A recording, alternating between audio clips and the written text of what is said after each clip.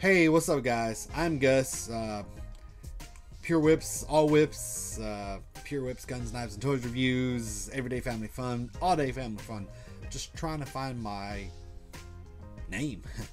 uh, I actually have one, which is uh, the intro you saw. Um, Evert Films, uh, drones, remote control cars, uh, go karts computers, video games, uh, pretty much everything. I mean, everything I do.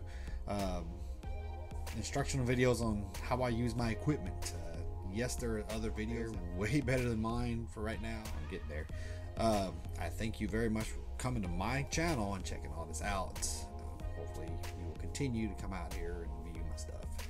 And the more people that come up, uh, the better I get because I get more practice, more practice, and stuff like that. So, um, man, I'm just here gonna do some videos uh, pretty much at least once a week.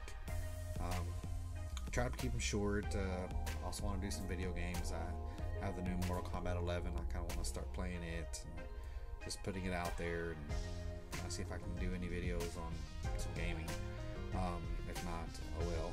Um, I, I, do watch some uh, let's plays and stuff with other other gamers. Um, but my main concern is like uh, I like flashlights. Flashlights is something I like a lot. Uh, they're pretty cool.